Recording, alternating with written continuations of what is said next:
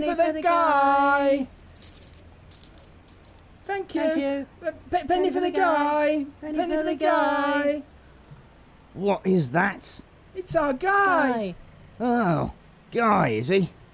Yeah, like Guy Fawkes. Because I thought I recognised him.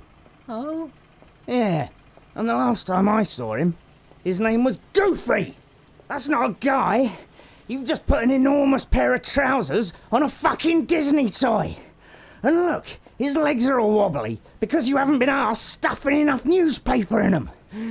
And you haven't even been bothered to put any bloody shoes on him. You've just tied the trousers off at the ankles. That is not a guy. What you've got there is a beloved cartoon character who's taken a job as a circus stilt walker shortly before having an horrific accident with a low-lying circular saw. Mummy said he was good. I assume you are at least going to ensure he has the traditional end to Bonfire Night. Yeah, of course. What's that? You don't know what traditionally happens to guys on Bonfire Night? Here. You're welcome. Hey.